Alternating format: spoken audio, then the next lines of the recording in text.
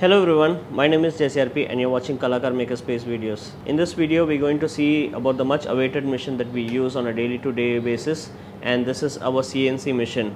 This was asked by many viewers like here and we thought we, why not make a video about it. Make sure to watch till the end of this video because today we will be seeing the specs of this mission what you should be looking for when you actually buy a mission or if you're building one what goes into making such a huge mission and what are the features that are available in the industry. So stick around and watch till the end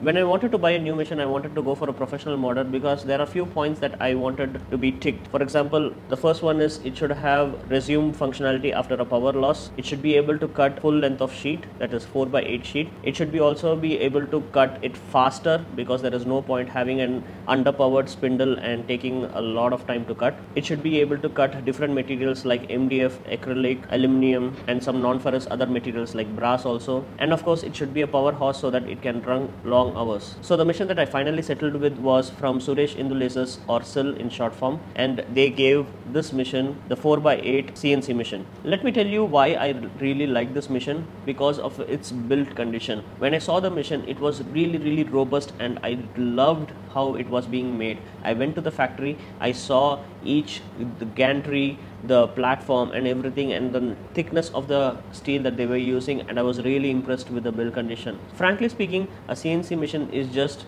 three or four stepper motors running on a rack and pinion and that's all to it but that's where people may compromise with the quality and this mission is not at all a compromise. Here are the specifications of the mission.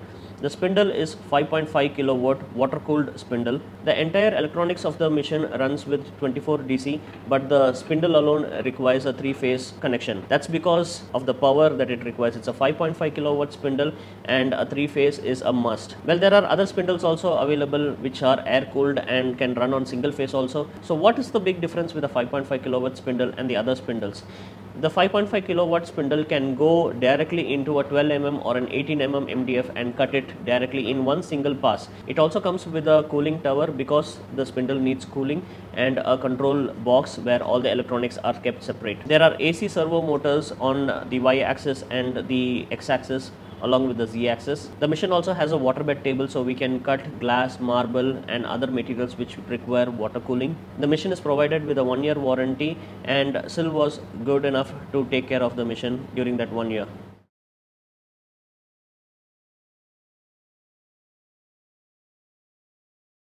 Let's talk about this mission in detail.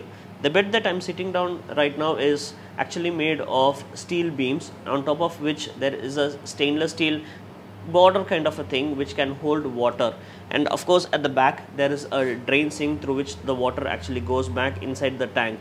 The tank is connected to a motor from which the water is again pumped through these pipes and it comes out through this pipe and finally it will be able to cool the bit. So above the stainless steel border we have these aluminum rails which have guides in them and these guides can actually hold bolts which acts as clamp to hold the piece. Above the aluminum rails we have this PVC sheet which acts like wasteboard so that when you have some mishaps in cutting then it's not the aluminum that gets wasted or damaged but the PVC sheet. Let's talk about the linear bearings in this machine. All the bearings are actually made with HIWIN and they actually have a oil pocket where you have to regularly fill with oil so that it's always self lubricating. The x-axis and y-axis move on rack and pinion and the rack and pinion is made of hardened steel and it has gone really well for these many days. The z-axis moves up and down using ball screw and it requires regular lubrication. If you have not seen my other video on how I made my own CNC machine, then please click on the top right corner. The electronics that goes inside making a CNC machine is similar. First, we have here some MCBs. These are just for safety measures which will switch off if there is a short circuit. Then we have a starter which actually starts up the entire machine and this starter is required because there is a lot of voltage going in so this starter actually starts up the transformer and then it goes and starts the other controls. Next we have 1, 2, 3, 4. There are 4 stepper motor controls.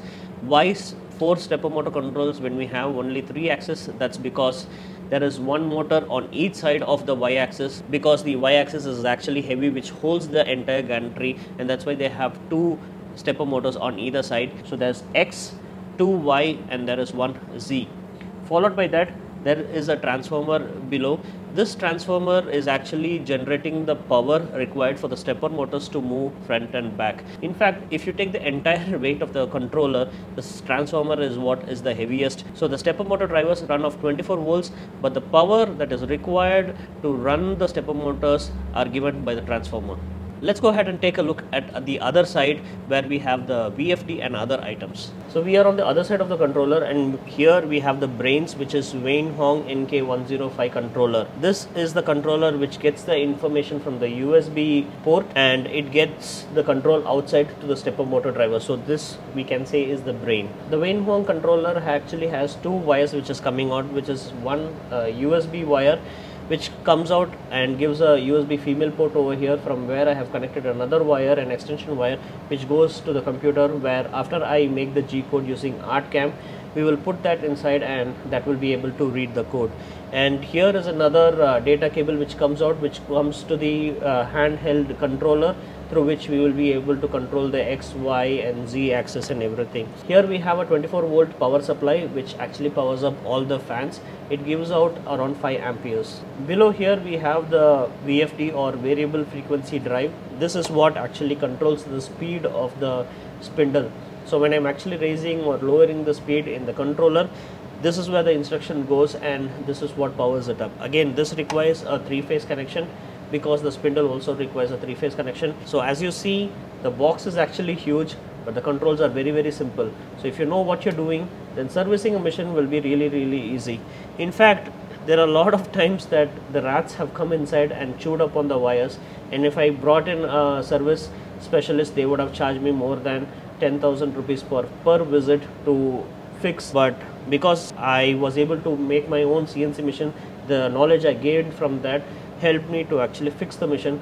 So I was able to fix all the sensors and everything by just taking a look at the wiring diagram Next, let's take a look at the water cooling station and the stabilizer. Let's talk about the chiller and the stabilizer. The chiller and stabilizer both are required for the spindle only. In the chiller, we have to use filtered water. So we generally buy water from uh, Bisleri or something and then we pour it in. And here in the front, we have a fan which pulls in cool air and it goes through a series of pipes and heat sink which further cools it down. And then there is a very small motor which pumps the water through the 6 mm pipe to the spindle. That's all it does there is no compressor or anything inside that. So if anybody tries to oversell you do not believe that. The second is this stabilizer. Because we are working with three phase and the spindle has to continuously revolve around uh, steady rpm a stabilizer is required. This is a variable stabilizer which means there are movable parts inside which twist and turn based on the power uh, consumption of the spindle and the power that is given to us by the MSEB.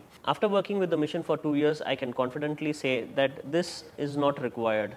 We can go with an air powered one and that will solve a lot of problems. Let me tell you what is the problem with this system. Because we are cutting MDF and it creates a lot of dust that gets sucked into the spindle no matter how airtight they are and that gets into the tubes and clogs the tubes. So in this past two years, I have flushed the tube with high powered air many times and that is again something that stops your workflow. Secondly, there is no fancy electronics or a compressor which actually cools the water. So if you're working in a hot environment and the spindle is working for a longer period of time, so the spindle is pushing in hot air and the atmosphere is also hot, so there is no chance that it will get cooled. I literally had to put ice cubes inside the container so that the water gets cooled during the summer season. If the system had a compressor inside which had coolant and the coolant was actually cooling the water just like how it happens inside inside a fridge then it is a definitely good option for our mission. But if you do not get that with your mission then don't go for a water cooled mission. After talking about the mission that i have in detail let's talk about a few points that you should see when you buy your next mission. First is the horsepower. Do you really need a 5.5 kilowatt spindle? I am using it on a commercial purpose and the mission is running almost every day and that is why i need it. But if you're doing it for a DIY purpose then a 1 kilowatt or a 2 kilowatt is more than enough. The second point is water cooled or air cooled as I already discussed Water cooled has its cons, but it also has its advantages. One, the machine can run 24 7 because of the water cooling. Next is if you want to buy a multi-purpose machine or just a machine to do your CNC work. Multi-purpose in the sense I got a machine with a water bed which I rarely use. In this two years I would have used it just two times. It added an additional budget of 60,000 rupees but I think it is total waste. If you're buying one machine that can do one job, that's much, much better. Don't think that you need a machine that can do all sorts of jobs which you will rarely use or which will give you a higher budget but then goes unused. Next, let's talk about the freebies that come with the mission. If somebody offers you a freebie for a lesser amount of money, just don't buy it. For example, SIL gave us a dust collector which as the name is apt is collecting dust in the corner because we rarely use it. It's been six times that we have serviced it. We have serviced it during the warranty period, we have serviced it after the warranty period, but it just simply does not work. So if a company is really good at making a CNC machine, just get the CNC from them. If the company is really good at making a dust collector, then the get dust collector from them do not combine these two because they are not going to give any concentration on making that mission perfect. Another important point that I want to stress again over here is do not pay 100% money when you're buying a mission. Make sure that the mission gets delivered, installed and it is perfect and then pay them the rest of the money. Before dispatching the mission, SIL insisted on 100% payment and because I did not put them in terms, I was not able to negotiate with them and I was really struck when they sent the mission, they did not send the dust collector for which they took an additional 40,000. I'm not trying to scare you, but I'm asking you to be precautious. But other than that, I hope you enjoyed this video. You had got a lot of information about the mission, how it works and what are the parts required to make it work. If you have any questions about this mission, please put them in the comments. I'll definitely answer them in the Q&A session. Also follow me on Instagram to see what I'm working on right now and I keep posting about my projects over there. Hope to see you in the next video and thank you for sticking out till the end of this video. Until next time, happy learning.